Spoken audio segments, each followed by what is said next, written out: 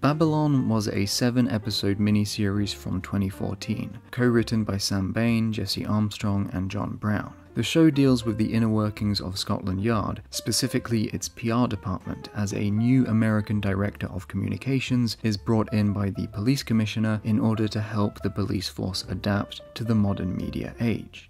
While Babylon may seem like a big step away from the previous successful shows co authored by Jesse Armstrong and Sam Bain, such as Peep Show and Fresh Meat, it very much follows in line with the political satire of The Thick of It, which Jesse Armstrong wrote for. In a sense, these two shows are very similar. Babylon simply widens the scope of its satire and leans further into the dramatic, while retaining The Thick of It's fast paced, insult laden dialogue and documentary style camera work. In this light, Jesse Armstrong's subsequent solo project, Succession, can be seen as the next logical step after Babylon, emphasizing the drama even further, elevating light political satire to the realm of high tragedy, all the while preserving Babylon and The Thick of It's visual style and witty dialogue. But Babylon and Succession also share a number of thematic concerns. In fact, many of the shows Jesse Armstrong has been heavily involved in have revolved around the central theme of communication, or more specifically, failed communication. Of course, the thick of it is all about politicians attempting to manage appearances in the face of a constant stream of PR disasters. But even Peep Show, with its POV style and interior monologues, often highlights the disconnect between an individual's true thoughts and their outward behavior, the difference between what they think and what they say. The show's signature awkwardness comes from the main character's profound inability to simply express themselves honestly. You accepted the acceptance. Well, I had to. It was checkmate. There was no way out. Except for telling her how you felt. Oh, right, yeah, sure, like that was going to happen. Babylon, however, is perhaps the most explicit treatment of this theme in Armstrong's filmography.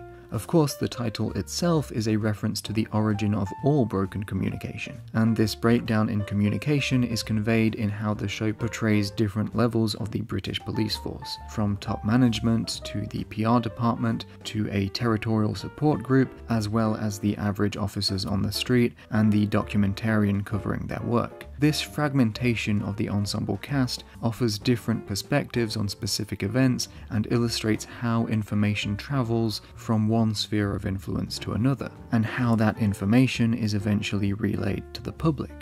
This is communicated visually in the show's use of various media through which imagery and information is transmitted. In the first episode, director Danny Boyle places particular emphasis on glass, windows, reflections, and all throughout the series, cameras, televisions, phones appear as important visual and narrative devices. And so, Babylon offers a global view of the many ways in which information is compartmentalized, as well as exposing the incentives and motivations of the various groups who participate in the construction of these media stories. Unlike Babylon, however, Succession doesn't set out to observe the different levels of a particular hierarchy, different slices of a system and its inner workings. Instead, Succession restricts the focus of the narrative to the Roy family, and very rarely offers glimpses into the lives of normal people, which, of course, on one level serves to convey how disconnected from the real outside world these elites really are which is why the organization of space and the use of locations are so thematically relevant in this series. Any given space or setting in succession inevitably becomes an embodiment or repository of various power dynamics. Yeah, I can't let him dominate the battle space, Lisa. My sister's making moves, I can't just watch it happen. Of course, the series features a number of exotic locales and elite settings in which the division between rich and poor is made explicit, but even within the sphere of the powerful, there exist even more minute divisions. Hey, Shiv.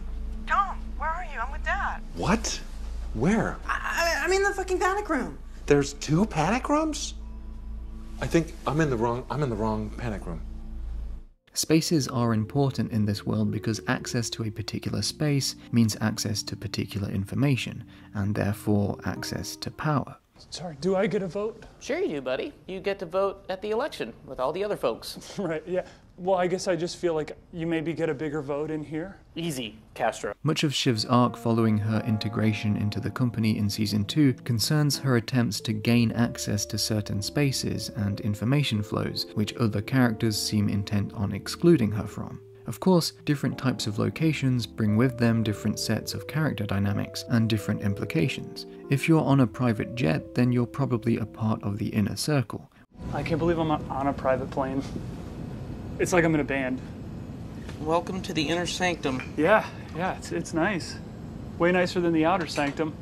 Whereas a meeting between characters in a random diner in New York may indicate that these characters are maneuvering in secret, far away from the watchful eye of the powerful people up above.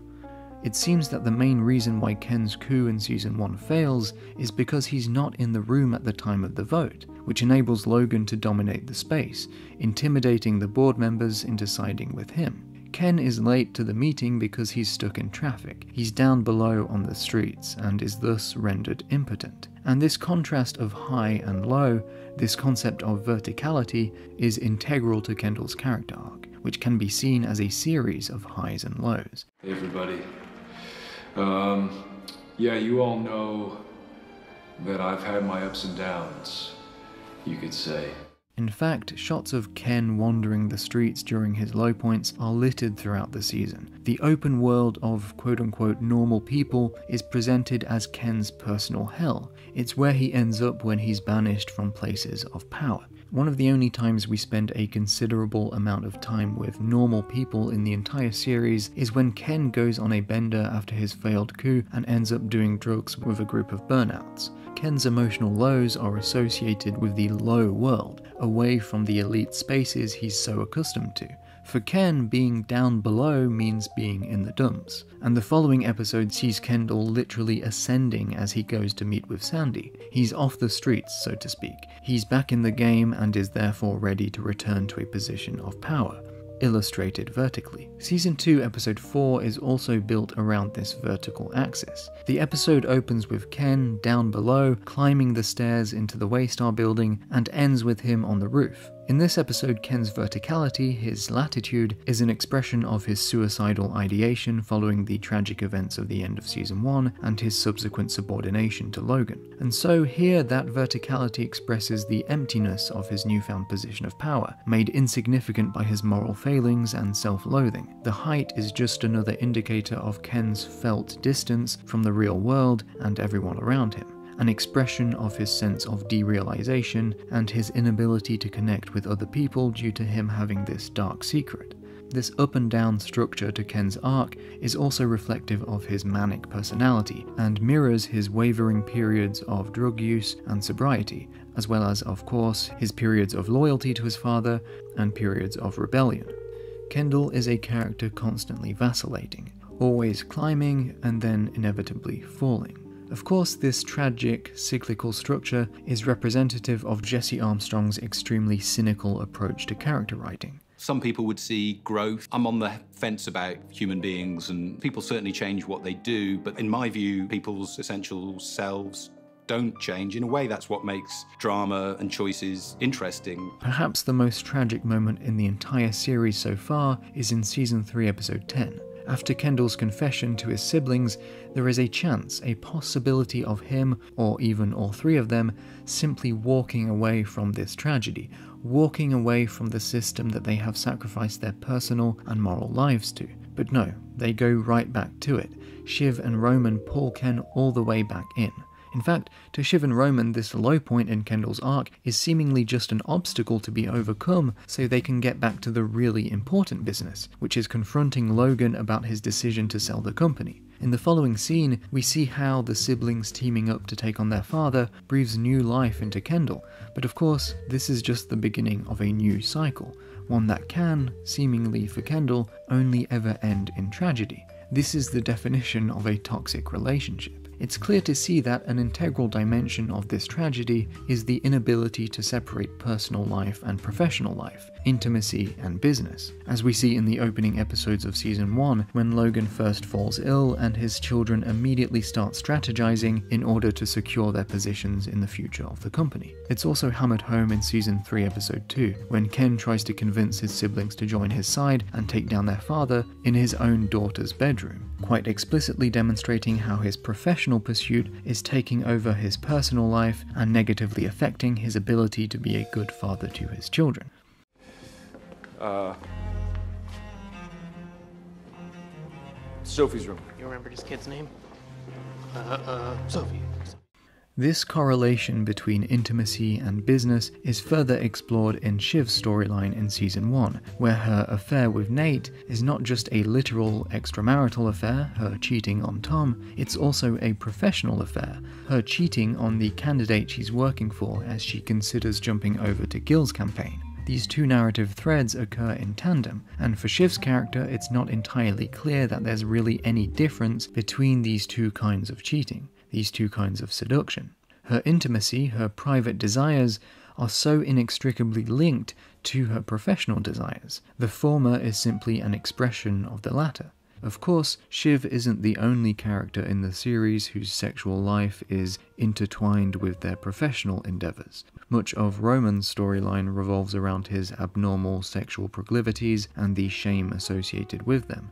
In fact, the Rocket storyline in season 1 can be seen as one giant cosmic joke at Roman's expense. His constant striving for his father's approval and respect within the professional sphere of the family business is combined with his sexual impotence, as allegorized in the phallic symbol of the rocket crashing and burning. And then, of course, there's his relationship with Gerri, another example of this confusion of intimacy and business. The only woman he seems capable of being intimate with is an older woman who's been a part of his family's business for decades. It's a kind of confused Oedipal complex. It's only appropriate then that this storyline would build to a literal confusion, the text message mix up where Roman's personal and professional lives intersect in the most embarrassing way possible. Of course, it's only natural that the Roy siblings would have such a hard time separating these two dimensions of their lives when they've been in the limelight since they were kids. Due to their father's position in the world, their family life and business life have always been intertwined. It is a family business, after all. And when the business's public image is in peril in season 1, Logan organizes a family therapy session in order to reassure shareholders and the public projecting positivity and openness, projecting an image of a functioning family unit. The irony is self evident. Therapy, a place where the patient is supposed to be at their most vulnerable, their most honest, their most unguarded, is with the Roys transformed into an arena of shielded egos, gathered together with the only real purpose of keeping up appearances. And this idea of family for the sake of business is reiterated throughout the series. Good to see you, Pinky. Yeah, it's good to have you back, Dad. A hug would have been nice. Uh, thanks for the donuts. You know, and I think they got enough shots of me through the window. So. No, no, no. Not shots. For the hug.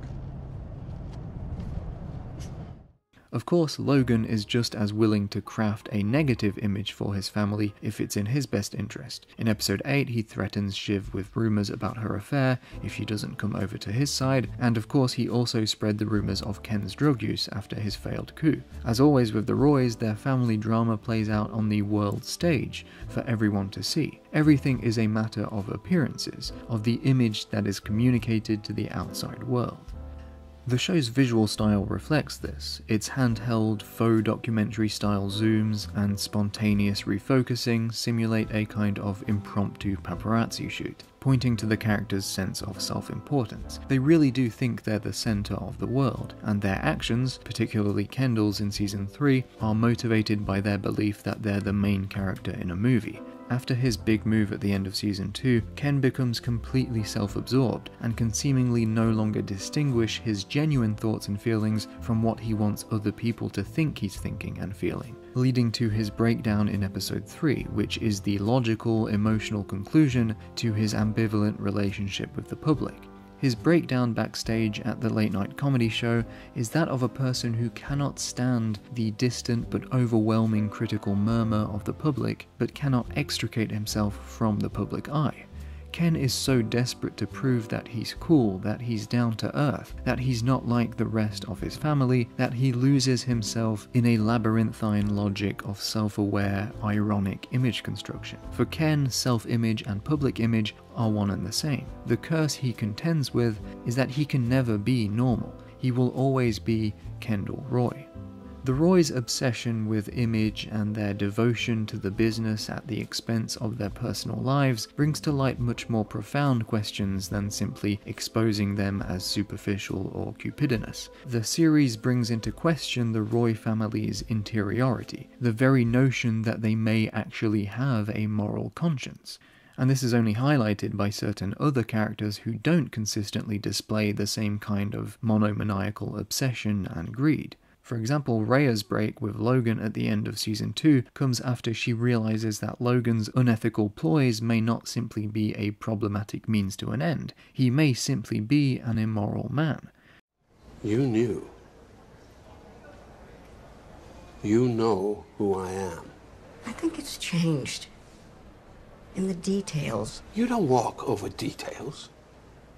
I can't see the bottom of the pool. And I, I don't know if you care about anything.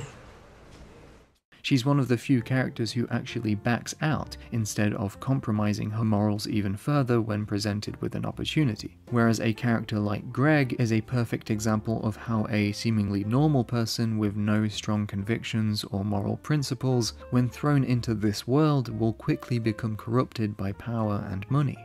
These characters aren't bad people because they don't have feelings, because they don't have morals, because they don't genuinely love their family or friends. They're questionable people precisely because they exist in a world in which they are constantly making moral compromises in the name of business, in the name of money and success and power.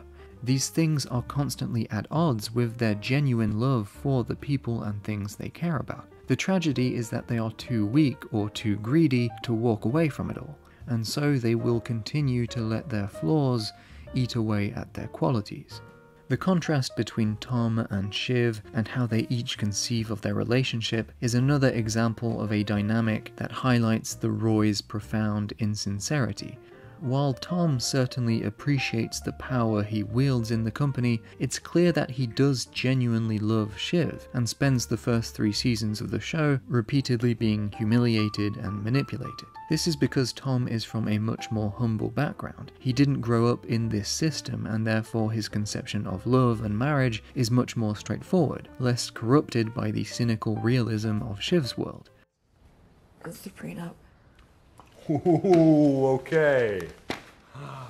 Yeah? Yeah, it means it's really happening. We're getting married. And That is a very romantic way of looking at a prenup. You know what? I'm not even going to look at that. Just show me where to sign. Tom, you have to look at it. No, listen, honestly, honey, I'm not for money. You're for money. I don't want to look at it. Just, I hereby comply.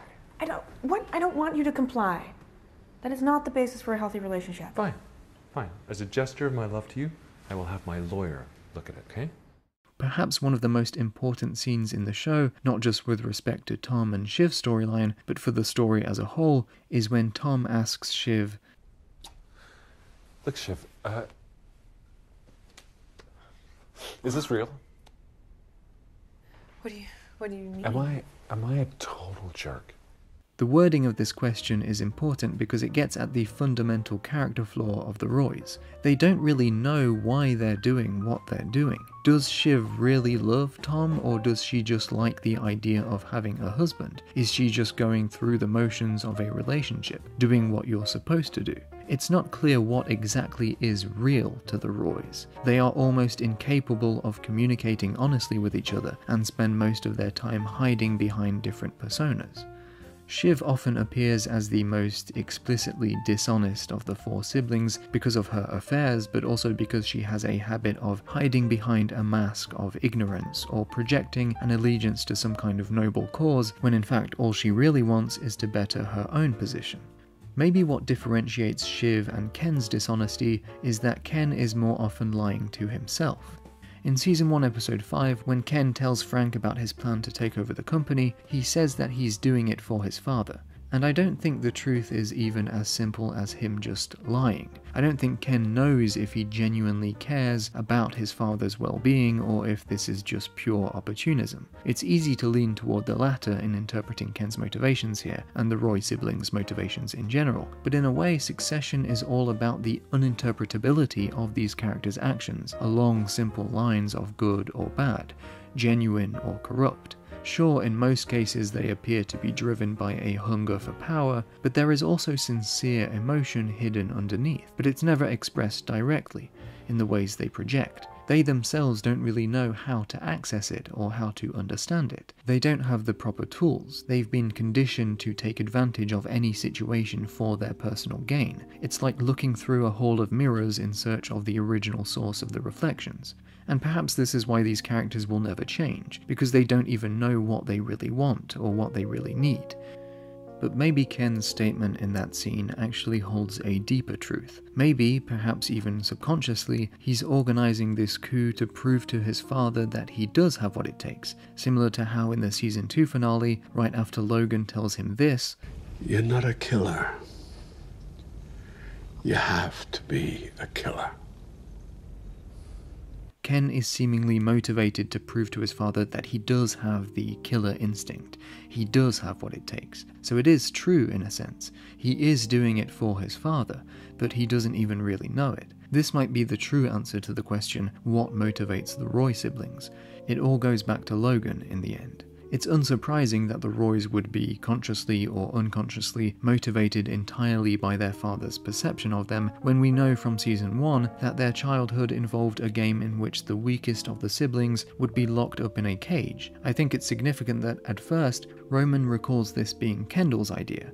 He was the one who would make Roman go in the cage and even eat dog food, and according to him, this is why Logan sent him away to military school but a later conversation between Connor and Kendall seems to imply that Roman being sent away, and perhaps even the cage game itself, was actually a way for Logan to establish a hierarchy among the siblings.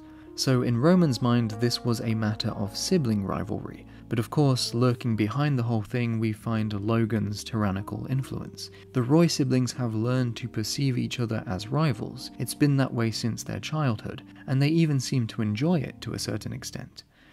No, we can fight it out. It'll it'll be fun. That will be fun. While Jesse Armstrong may say that he doesn't believe people ever really change, the season 3 finale does appear to show two major character developments. Firstly, Tom's betrayal and apparent decision to finally prioritize his own standing over what he now seems to understand as his failed marriage with Shiv, and then, secondly, of course, Logan's decision to sell the company, much to the siblings' dismay. Logan's story is all about his ambivalence towards his own children. Ken might be one of the most deluded characters in the show, but in season 1 he utters what is probably the most accurate description of Logan's tragic flaw. I was born lucky. I'm a lucky person. I realize that. And you're so fucking jealous, aren't you? You're so fucking jealous of what you've given your own kids. You can't handle it. You can't you, you, you can't work it out. As it stands, it's not clear exactly what motivated Logan to sell the company to Matsson, but with everything that's happened between him and Ken, it's perhaps not too far fetched to see this as a last ditch attempt by Logan to essentially force his children out of this business and give them a chance to better themselves, extract them from a system that poisons their relationships and breaks down their character through repeated moral compromises. Perhaps I shouldn't be too quick to assume noble intentions on Logan's part, though. It wasn't too long ago that he was willing to offer up his own son as a scapegoat in order to protect himself. He even self mythologized the act as some kind of ritual sacrifice that demonstrated his love for his son, when actually we know for a fact that he's only sacrificing Ken because he's too much of a coward to give himself up. Succession is a very mythical story in its allusions to Greek tragedy, but it's very much about the material reality that underlies a tragedy of mythic proportions. Of course, in mythic terms, selling the company is Logan's self castration. Sensing a turning of the tide, Logan has somewhat unpredictably accepted the fact that this is it. There's no room for him anymore. He's getting old, and the world keeps on changing, and he can't keep up. And so, if even Logan, who has consistently throughout the series been portrayed as some kind of unstoppable force who always gets what he wants in the end, if even he is too weak to go on, what does that mean for his children? Well, the season 3 finale only serves to further highlight the siblings' utter impotence in the face of these great changes. And that's the underlying question that runs throughout the series. Are the Roys ever really in control? Being the main characters of the show, we expect a degree of agency on their part, and they certainly believe themselves to be important. They think they're playing a political game of some sort. But at the end of the day, it seems to be repeatedly proven that the fate of the company is almost always decided by external factors completely out of their control. They are forever subjected to the whims of the public, or the shareholders, or their own father's opinion of them. They don't really have that much power, not in this realm at least. They are unfathomably wealthy, and there's a lot that wealth can do, but this system doesn't really bend to any individual's will. The Roys are slaves to their own appearances, their image, the image of power they want to believe they possess, and can only believe they possess if others believe it too. These characters have become so accustomed to the illusion of their own self importance that even they begin to forget that there are deeper, greater currents that shape their world, material realities that surpass even them. They are simply surfing a wave, and that wave is about to crash. They have been fooled by their drama, their own little theatrical production. The question that remains for future seasons is whether or not they will leave the world stage peacefully.